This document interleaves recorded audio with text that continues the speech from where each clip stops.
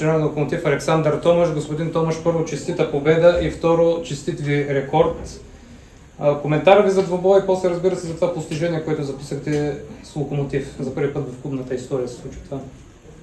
Както и отвънка пред вашите колеги, и тук ще започна по този начин. Искам да говоря първо за теми, които са много по-важни от е, рекорди, победи, загуби за човешкото, за човещината. Първо искам да подкрепя човек като Петър Хупче в най-важната си битка и аз съм убеден, защото го познавам, че той ще успее. Първо искам да изкажа моите съболезнования на близките на Венци, едно дете, което отлетя от този свят. С а, една идея и мечта да стане футболист. И трето, да призова всички да напълним на 6 стадиона, да покажем, че ние сме хора преди всичко и можем да подкрепяме, да бъдем обединени. Това, което прави Стелян Петров и неговата фундация. Що се отнася до матча, като резултат всичко е окей, имаме си проблемите, имахме моменти, в които не успявахме да бъдем водещи отбор, давахме инициативата на противника, това показва, че можем, че трябва да изискваме повече от себе си, че трябва да работим повече а, и някои древни детайли трябва да подобряваме, които са много важни обаче детайлите. А, но се радвам за футболистите всичко и благодаря на тях, да поздравя екипа си, да им благодаря, защото са отдадени, вярват на процеса и се влагат сърцето в това, което изискваме. Така че това е. Заповядайте за въпросите го напълних. Изглеждате, че имате проблеми, но основно в защита, защото в нападение нещата се получават, имате положения, създавате. Доста контузии обаче се насъбраха. Ще бъдат ли привличани още играчи, защото... А, аз съм си казал мнението, което трябва. Въпрос към господин Павел Първ.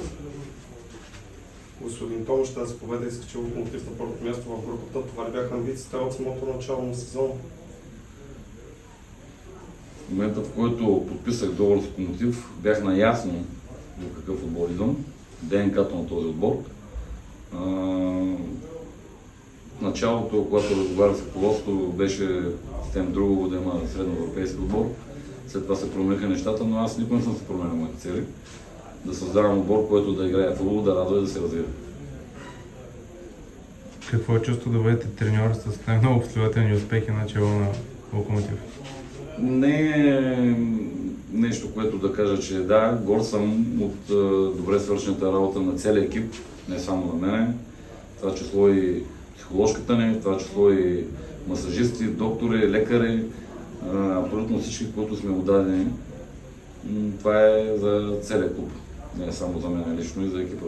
Така че радвам се, горд съм, но това не е нещо, което ще ме постави в зоната на комфорт. Знам колко бързо сменят нещата, не само в футбол, така и в живота. Относно френски защитник, който дойде на проби, ще остане ли в Локомотив или ще бъде А, свободен? Успяхме да убедим момчето, неговият агент беше против, да остане до петък имаме контролна среща. Искам да се убедя на 100%, за- защото ние не сме клуб, който може да си позволим да правим да не вземем точните решения. И се опитвам максимално да удължа времето. Радвам се, че футболистът се съгласи, така че след контролата в петък ще стане ясно. С оглед на прекрасната форма на локомотив, пречи ли това, че има лагер за националните отбори или това ще даде допълнително време за тренировки? Аз мисля, че е добро дошло за нас да поработим малко повече от физическа гледна точка.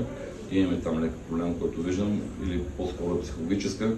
Може би позицията, в която се намираме, така задължава футболисти. Точно това искам да махна това време. Ние сме отбор, който а, радваме феновете си.